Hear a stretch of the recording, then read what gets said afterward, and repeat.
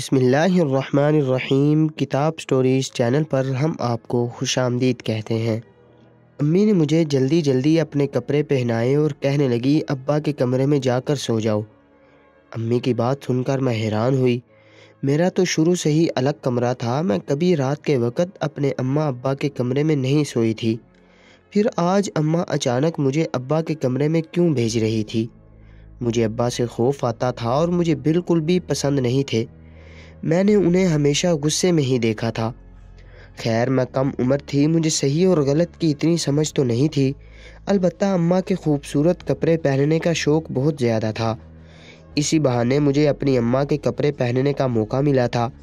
मैंने जल्दी से अम्मा का सूट पहन लिया और अम्मा की तरह बालों की चोटी बना ली। अम्मा ने मुझे सर से दुपट्टा पहनाया और कहने लगी, जाकर खामोशी से अपने अब्बा के बराबर बिस्तर पर सो जाना। तुम्हारा अब्बा चाहे तुम्हें आवाज़ दे या कुछ भी करे, तुम आवाज़ ना निकालना, बस खामोशी से अपनी जगह लेटी रहना।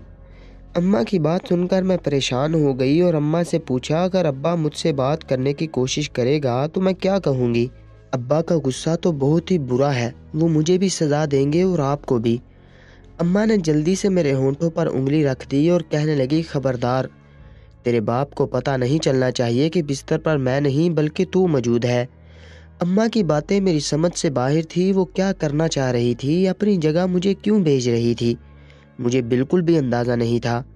मैंने अम्मा से पूछा कि आप कहाँ जा रही हैं? अम्मा कहने लगी, कहीं नहीं, मैं घर में ही हूँ।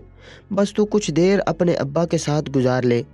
काश कि मुझे पता होता कि मेरी माँ क्या करने जा रही है तो मैं कभी उनकी जगह पर ना लेटती। और फिर अम्मा ने ज़बरदस्ती मुझे अब्बा के पास भेज दिया। कमरे में पूरी तरह अंधेरा था। मैं खामोशी से जाकर अब्बा के बराबर में लेट गई। ये सोचकर मेरा दिल सूखे पत्ते की तरह कांपने लगा कि अगर अब्बा को पता चल गया कि अम्मा की जगह मैं हूँ तो पता नहीं वो अम्मा के साथ कैसा सलूक करेगा। और ये सब करके अम्मा को क्या हासिल होगा? मेरे पास किसी भी सवाल का कोई जवाब नहीं था। मेरा अब्बा गहरी नींद सो रहा था, मुझे यही सब सोचते सोचते नींद लग गई। लेकिन फिर आधी ही रात को जब मेरी आँख खुली तो मेरे होश उड़ गए, क्योंकि अब्बा का हाथ तो मेरी, मेरा नाम शबाना है। अक्सर ही लोग मुझे और मेरी माँ को देखकर हैरान रह जाते, क्योंकि मेरी माँ मुझसे उम्र में सिर्फ़ दस साल ही बड़ी थी। ये कैसे मुमकिन था? ये बात सबको हैरान कर देती थी। अम्मा ने मुझे यही बताया था कि इनकी शादी बहुत कम उम्री में हो गई थी, वो सिर्फ़ नौ साल की थी, जब उन्हें अब्बा के साथ रुखसत कर दिया गया। ना ही अम्मा कभी स्कूल गई थी और ना ही दूसरे बच्चों की तरह इन्होंने ज़िंदगी की कोई खुशियाँ देखी थी। फिर शादी के अगले साल बाद ही वो मेरी माँ बन गई। इस तरह उम्र में वो मुझसे सिर्फ़ दस साल ही बड़ी थी और किसी भी जाविये से मेरी माँ नहीं लगती थी। हर कोई उन्हें मेरी बड़ी बहन ही समझता था। अल्लाह ने मेरे बाद मेरी माँ को और औलाद भी नहीं दी थी। इसलिए मैं अपनी अम्मा की इकलौती बेटी बनकर रह गई। जहाँ मेरी माँ मुझसे दस साल बड़ी थी, वहीं बाप कोई तीस चालीस साल बड़ा था, क्योंकि मेरी अम्मा और अब्बा के दरमियान उम्र का काफ़ी फ़र्क था। कोई भी मेरी अम्मा और अब्बा को देखकर मियाँ बीवी नहीं कह सकता था। जैसे जैसे मैंने होश संभालना शुरू किया तो मुझे एहसास होने लगा कि मेरा अब्बा बिल्कुल भी अच्छा इंसान नहीं था। वो मेरी अम्मा का ख्याल नहीं रखता था, क्योंकि मैंने अक्सर ही अपनी अम्मा को रोते हुए देखा था। कभी वो छत पर जाकर रोती तो कभी वो बर्ची खाने में बैठकर। कई दफ़ा तो मैंने उन्हें अब्बा से लड़ते झगड़ते भी देखा था। मैं जब भी कोई सवाल करती तो अम्मा जवाब ना देती, बल्कि खामोशी से मुँह फेर लेती। पता नहीं अम्मा को कौन सा दुख अंदर ही अंदर खाए जा रहा था। इन दोनों के दरमियान किस बात को लेकर झगड़ा था या फिर अब्बा अम्मा पर कौन सा जुल्म ढाता था? ये मुझे नहीं मालूम था, मगर मैं इतना ज़रूर जानती थी कि हर सुबह मेरी माँ का चेहरा सुरख हुआ नज़र आता था और यकीनन इसके पीछे की वजह मेरा अब्बा ही था। मुझे अपने अब्बा से एक अजीब सी नफ़रत का एहसास होने लगा था, शायद हर औलाद ऐसी ही होती है। जो भी इसकी माँ को तकलीफ़ पहुँचाता है, औलाद इससे नफ़रत करने लगती है। फिर चाहे वो सगा बाप ही क्यों ना हो, मुझे भी अब अपना सगा बाप बिल्कुल अच्छा नहीं लगता था। जैसे जैसे मैं बड़ी होती गई, मुझे अंदाज़ा होता गया कि अब्बा और अम्मा के दरमियान कुछ भी ठीक नहीं है। मेरी स्कूल की सहेलियाँ अक्सर अपने वालदेन के बारे में बताती और इनकी बातें सुनकर मैं हैरान रह जाती। वो कभी अपने वालदेन के साथ घूमने जाती तो कभी अपनी नानी के घर। लेकिन मुझे तो यही नहीं मालूम था कि मेरी नानी कौन है, कहाँ रहती हैं तो फिर इनके घर कैसे जाती? और अब्बा कभी मुझे और अम्मा को बाहर भी नहीं लेकर गए थे। अम्मा तो हमेशा चार दीवारी में ही कैद रही थी। इस सरकारी स्कूल में भी मुझे मेरी पुप्पो ने दाखला दिलवाया था तो मेरी तालीम चल रही थी। कभी कभी मैं अम्मा से पूछती कि हमारी नानी कौन है? आपकी इतनी जल्दी शादी क्यों की गई? अब्बा तो आपसे उम्र में भी बहुत बड़ा है, लेकिन अम्मा इन बातों का भी जवाब ना देती और कहती कि कभी दोबारा ये सवाल ना करना। ना मेरा कोई है और ना ही कोई तेरा है। हम दोनों ही बेसहारा हैं। और फिर जब एक दिन मैं स्कूल से लौटी तो मैंने देखा कि मेरा अब्बा बुरी तरह मेरी अम्मा को मार रहा था। अम्मा के होंठ से खून बह रहा था और वो ज़मीन पर परी रो रही थी। मुझे देखते ही अब्बा ने अपने हाथ में पकड़ा, बेल्ट फेंक दिया था। लेकिन मैं देख चुकी थी कि मेरे अब्बा ने किस कदर वहशियाना तशद किया है। मैं फ़ौरन अपनी अम्मा के पास गई, उन्हें पानी पिलाया और पूछा कि क्या हुआ है।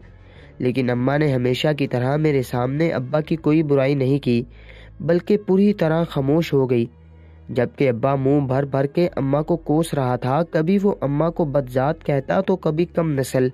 इस दिन से मुझे अब्बा और भी जहर लगने लगा था। मैं अम्मा के साथ घर के कामों में हाथ बटाती, उनका ख्याल रखती। मेरी अम्मा बहुत ही अच्छी थी, वो हमेशा अब्बा के आगे सर झुकाती थी। लेकिन फिर भी इनकी कोई कदर नहीं करता था। और कभी कभी मुझे लगता कि ये सब मेरी पुप्पो की वजह से है। क्योंकि वो जब भी हमारे घर आकर जाती तो अब्बा अब्बा के दरमियान झगड़ा ज़रूर होता। और फिर अब्बा की बदतरीन मार पीट की अगली ही शाम पुप्पो हमारे घर आई। अम्मा अपने कमरे में थी, पुप्पो भी वहीं चली गई। और ना जाने इन दोनों के दरमियान क्या बात हुई कि पुप्पो गुस्से में हमारे ही घर का सामान तोड़ने लगी। मैं फ़ौरन भागकर अम्मा के कमरे के दरवाजे पर पहुँची तो पुप्पो ने मेरा चेहरा देखा और कहने लगी कि बस इसकी वजह से तुझे बर्दाश्त करती हूँ। वरना मेरा बस चले तो तुझे छोटी से पकड़कर इस घर से निकाल दूँ। तूने हमारा घर बर्बाद करने में कोई कसर नहीं छोड़ी है। पुप्पो बिल्कुल अब्बा जैसी ही ज़ुबान इस्तेमाल कर रही थी और मैं हक्का बक्का खरी अपनी पुप्पो को वो सब कुछ कहते सुन रही थी कि जिसे सुनकर कोई भी कानों को हाथ लगा सकता था। पुप्पो ने मेरी माँ की किरदार कशी करने में कोई कसर नहीं छोड़ी थी, जबकि मेरी बेजर सी माँ एक कोने में सहमी सी खड़ी थी। मुझे समझ नहीं आ रहा था कि पुप्पो को ये सब करके क्या हासिल होगा। वो जब भी आती थी, कोई ना कोई चिंगारी भड़काकर चली जाती थी, और अब भी ऐसा ही हुआ था। इनके जाने से पहले अब्बा आए थे, और पुप्पो ने न जाने अब्बा से ऐसा क्या कहा था कि पुप्पो के जाने के बाद अब्बा ने भी बहुत हंगामा खड़ा किया था, और फिर अम्मा बस रोती ही रही थी। और फिर इस वाक्य को कुछ ही दिन गुजरे थे कि एक रात अम्मा खामोशी से मेरे कमरे में आई और मेरा हाथ पकड़कर कहने लगी, शबाना, अगर मैं तुझसे कुछ करने को कहूँगी तो तू मना तो नहीं करेगी। मैंने अम्मा से कहा कि अम्मा, मैं कभी तेरी किसी बात को इनकार नहीं कर सकती। मेरी अपनी अम्मा से बहुत ज़्यादा दोस्ती थी। अम्मा कहने लगी कि बस तुझे मेरे कपड़े पहनकर अपने अब्बा के साथ कमरे में रात गुजारनी है। इससे ज़्यादा मैं तुझसे और कुछ नहीं मांगूँगी। तेरा बाप बहुत गहरी नींद सो रहा है। उसे हर किस भी खबर नहीं होगी कि कमरे में कौन मौजूद है। पहले तो मैंने खौफ ज़्यादा होकर मना कर दिया। मुझे अब्बा से बहुत खौफ आता था जिस तरह वो बेदर्दी से अम्मा को मारते थे। मैं तो उनके करीब जाने से भी डरती थी, जबकि अब्बा मुझसे बहुत मोहब्बत करते थे, लेकिन फिर भी मुझे अब्बा से डर ही लगता था। अम्मा कहने लगी कि मैं तुझे अपने कपड़े पहनाऊँगी अपना नया जोरा पहनाऊँगी। बस कुछ ही देर की तो बात है। आधी रात गुजर चुकी है, आधी रात तुझे वहीं सोना है। अम्मा के लाड प्यार और बचकाने की वजह से मैं राज़ी हो गई। और फिर अम्मा ने जब मुझे अपना नया जोरा पहनाया तो मैं बड़ी ही खुश हुई। और फिर अम्मा ने ज़बरदस्ती मुझे अपने कमरे में भेज दिया। मैं अब्बा के करीब गई तो मुझे यकीन हो गया कि अब्बा बहुत गहरी नींद सो रहा था। मैंने सांस रोककर दूसरे कोने में अपनी जगह बनाई और अम्मा की जगह सो गई। सारी रात अब्बा की आँख नहीं खुली थी, फजर की अजानों पर ही मैं उठी थी।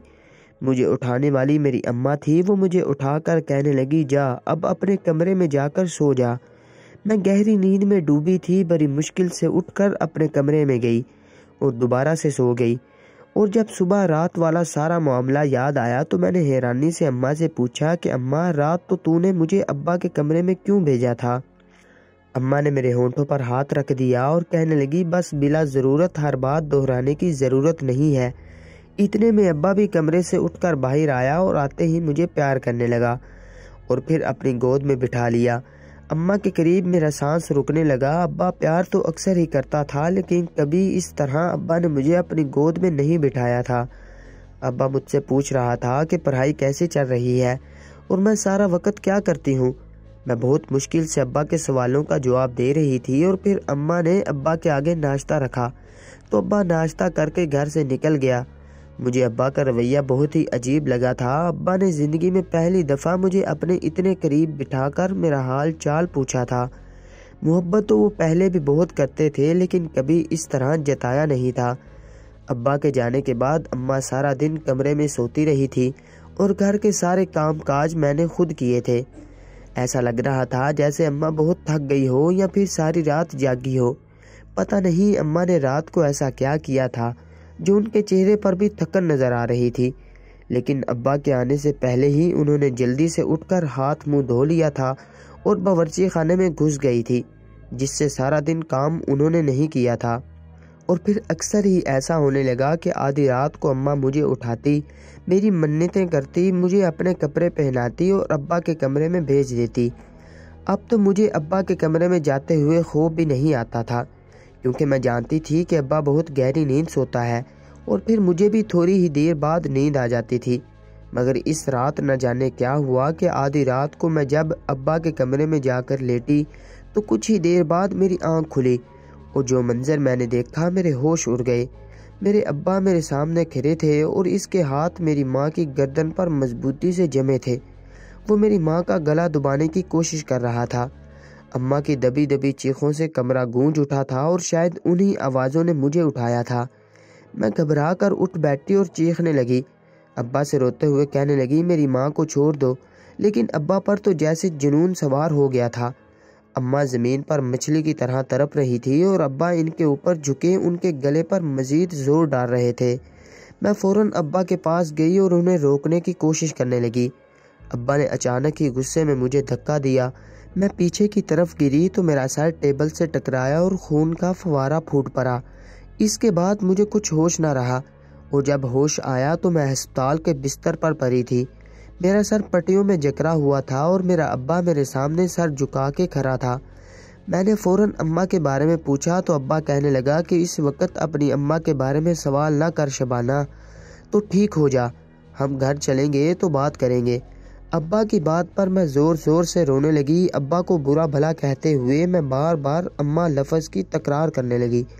मुझे मेरी अम्मा कहीं दिखाई नहीं दे रही थी और वो मंज़र अभी भी मेरी आँखों के आगे घूम रहा था। जब मेरे अब्बा ने अम्मा को पूरी तरह अपने शिकंजे में दबोच लिया था, कुछ ही देर बाद मेरी पुप्पो भी वहाँ पहुँच गई और फिर इनका चेहरा देखकर मैं मज़ीद गुस्से में आ गई। मैंने उन्हें भी बुरा भला कहना शुरू कर दिया और कहा कि हमारे घर में जो कुछ भी हुआ, इसकी जिम्मेदार आप हैं। आपकी वजह से अब्बा ने अम्मा की जान लेने की कोशिश की है। मेरी माँ कहाँ है?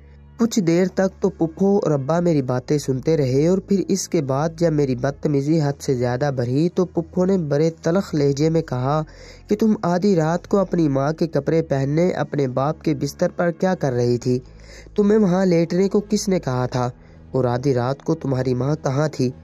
पुप्पो की बात सुनकर अचानक ही मेरे मुँह पर ताला लग गया था। मैं जो बहुत देर से चीख चीख कर उन्हें बुरा भला कह रही थी, बिल्कुल खामोश हो गई थी। अब्बा ने पुप्पो को चुप करवाया और कहने लगे, बेबी, ये सब वक़्त इन बातों का नहीं है। शबाना को बहुत गहरी चोट आई है। उसे ठीक हो जाने दो, हम घर चलकर बात करते हैं। यहाँ तमाशा खड़ा करने की ज़रूरत नहीं है। इसकी माँ को जो कुछ करना था, वो कर चुकी है। अब वक़्त आ गया है कि हम शबाना को सच्चाई बता दें। मैं शायद दवाओं के जेर असर थी। कुछ ही देर में मुझे दोबारा नींद लग गई। और जब शाम के वक़्त आँख खुली तो मेरी अस्पताल से छुट्टी हो रही थी। अब्बा मुझे टैक्सी में बिठाकर घर ले आए थे। मेरी अम्मा दूर दूर तक कहीं नहीं थी, मेरी आँखों से आँसू बह रहे थे। मुझे यकीन था कि मेरे अब्बा ने मेरी अम्मा के साथ कुछ गलत कर दिया है और फिर घर पहुंचकर मुझे पता चल ही गया कि मेरी माँ के साथ क्या हुआ है और उन्होंने मुझे अब्बा की जगह क्यों सुलाया था।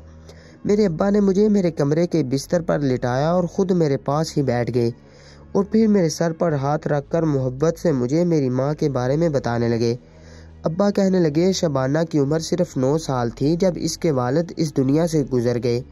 इनके अचानक इंतकाल के पीछे तुम्हारी नानी का हाथ था, क्योंकि वो अपने किसी आशिक के साथ फरार हो गई थी।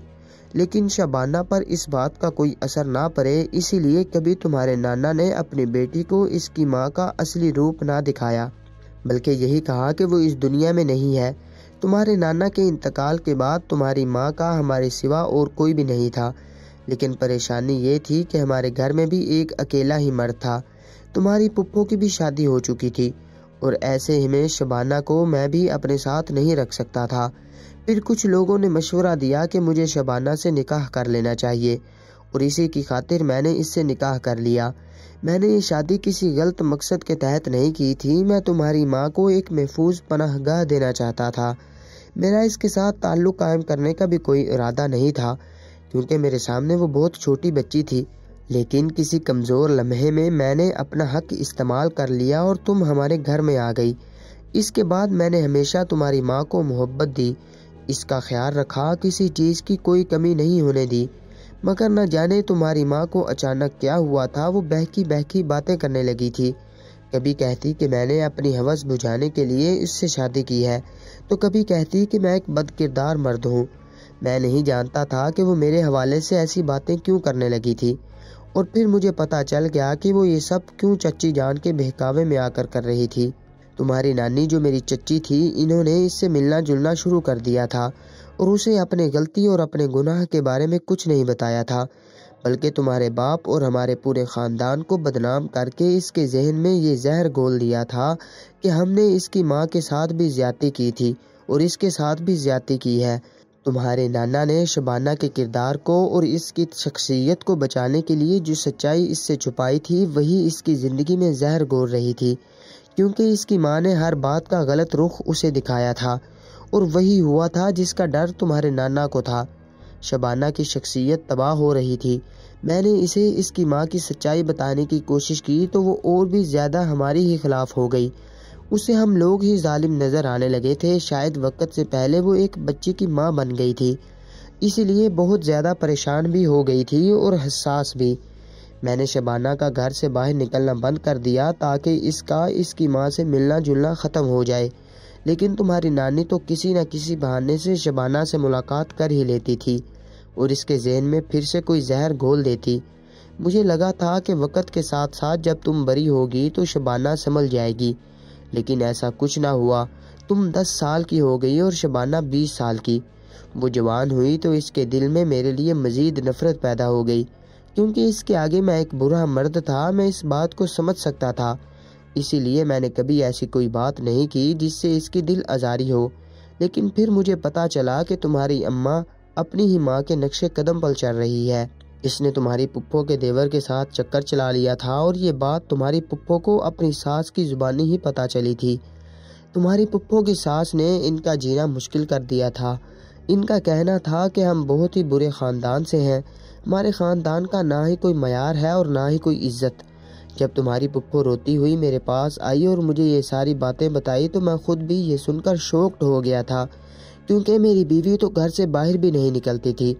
फिर ये सब कैसे मुमकिन हुआ था और फिर मुझे पता चला कि तुम्हारे पुप्पो का देवर अपने किसी दोस्त के लिए हमारी गली में आता था और तुम्हारी माँ छुप छुप कर छत पर जाकर इसका दीदार करती थी और फिर वो छत पर आकर ही तुम्हारी माँ से मुलाकातें करने लगा। एक दो दफ़ा पड़ोसियों ने भी मुझे ये बात इशारों में बताने की कोशिश की थी, लेकिन मुझे कभी यकीन नहीं आया। मैं सोच भी नहीं सकता था कि मेरी बीवी कोई ऐसी गिरी हुई हरकत कर सकती है। मैंने इस पर और भी ज़्यादा पाबंदियाँ लगा दी। बहुत ज़्यादा सख्ती करने लगा और जब बात हद से आगे बढ़ने लगी तो मैं मार पीट पर उतर आया। मारना पीटना मेरी तरबियत नहीं थी, लेकिन अपनी इज़्ज़त बचाने की खातिर मैं इस हद तक गिर गया था कि अपनी बीवी पर हाथ उठाने लगा था। मगर तुम्हारी माँ वो ना ही कुछ समझने को तैयार थी और ना ही किसी और बात के लिए। मैं उसे तुम्हारी खातिर छोड़ना भी नहीं चाहता था। मैं नहीं चाहता था कि जिस तरह दस साल की उम्र में तुम्हारी माँ अपनी माँ से महरूम हुई, बिल्कुल उसी तरह तुम भी हो जाओ। लेकिन फिर तुम्हारी माँ ने रातों को तुम्हें अपनी जगह मेरे कमरे में भेजना शुरू कर दिया और ख़ुद अपने आशिक से मुलाकात के लिए छत पर जाने लगी। और फिर एक रात जब मुझे अंदाज़ा हुआ कि मैं अब पहले से ज़्यादा गहरी नींद सोता हूँ और ये सब कुछ दूध पीने के बाद होता है तो मैंने कल रात वो दूध ना पिया, जो तुम्हारी माँ खुद मेरे लिए लेकर आती थी। और इसका नतीजा ये निकला कि रात मुझे गहरी नींद नहीं आई, और जब तुम्हारी माँ आधी रात को कमरे से बाहर निकल कर गई तो मेरी आँख खुल गई। मुझे लगा शायद वो कुछ देर बाद वापस आ जाएगी, लेकिन वो नहीं आई, बल्कि तुम कमरे में इसकी जगह आई और सो गई। और मुझे समझ आ गया कि यह हर रात की कहानी है। और फिर जैसे ही तुम्हें नींद लगी तो मैं तुम्हारी माँ को देखने के लिए उठते ही लगा था कि तुम्हारी माँ अलमारी से कुछ निकालने के लिए कमरे में आ गई। दरअसल तुम्हारी माँ अपना पूरा सामान बाँध चुकी थी और भागने की तैयारी कर रही थी। तुम्हारी माँ वही गलती दोहराने जा रही थी जो एक वक्त में तुम्हारी नानी ने की थी। और जब मुझे ये बात पता चली तो मुझसे गुस्सा बर्दाश्त ना हुआ और मैंने उसे जान से मारने की कोशिश की। लेकिन तुम उसे बचाने के लिए दरमियान में आ गई। और जब तुम जख्मी हुई तो मुझे होश आया और एहसास हुआ कि मैं कितना बड़ा गुनाह करने वाला था। मैंने उसे उसी वक्त तुम्हारी माँ को तलाक देकर हर रिश्ते से आज़ाद कर दिया और तुम्हें लेकर अस्पताल चला गया। आज मैं तुम्हें सारी सच्चाई यही सोच कर बता रहा हूँ कि कल को कहीं तुम्हारी माँ तुम्हारी ज़िंदगी में जहर घोलने के लिए वापस न आ जाए। ये कहकर अब्बा खामोश हो गए थे और मैं दंग रह गई थी। मैं सारी ज़िंदगी अपनी माँ को मजलूम समझती रही थी। मुझे यही लगा था कि मेरी माँ के साथ बहुत ज़्यादा ज्यादती हो रही है। मैंने अपने बाप का जो रूप देखा था, वो बहुत भयानक था। लेकिन इसके पीछे जो वजह थी, वो इससे भी ज़्यादा भयानक निकली। मेरी माँ मेरे बाप से तलाक लेकर मेरे पुप्पो के देवर के साथ भाग चुकी थी। पुप्पो को अपने ससुराल से ये खबर मिली थी, इसीलिए वो अस्पताल आकर मेरी माँ के बारे में और भी ज़्यादा बुरा भला कह रही थी। क्योंकि इनकी आगे की ज़िंदगी मुश्किल होने वाली थी और मैं पुप्पो और अब्बा की ही अपना दुश्मन समझ रही थी। सारा सच जानने के बाद मैं रोने लगी थी। अब्बा ने मेरे सर पर हाथ रखा। अब्बा ने मेरे सर पर हाथ रखा और कहने लगे, तुम अपनी ज़िंदगी में ऐसी कोई गलती ना करना जो तुम्हारी माँ ने की है। इसने तुम्हारी नानी की हर बात पर आँखें बंद करके एतबार किया। वो मुझसे बदजन हुई और मेरी मोहब्बत को धोखा और हवस समझने लगी। लेकिन तुम कभी ऐसी कोई गलती ना करना। मैंने अब्बा से वादा किया कि मैं कभी कोई गलती नहीं करूँगी और हमेशा इन पर एतबार करूँगी। मेरी माँ हमें छोड़कर जा चुकी थी और यही सच था। मैंने अपने अब्बा के साथ अकेले घर में ज़िंदगी गुजारना शुरू कर दी और मुझे एहसास होने लगा कि मेरे अब्बा इस दुनिया के सबसे अच्छे अब्बा थे। इन्होंने मेरी खुशी के लिए हर कुर्बानी दी और आज मैं एक कामयाब डॉक्टर हूँ। मेरी इस कामयाबी के पीछे सिर्फ़ और सिर्फ़ मेरे बाप का हाथ है।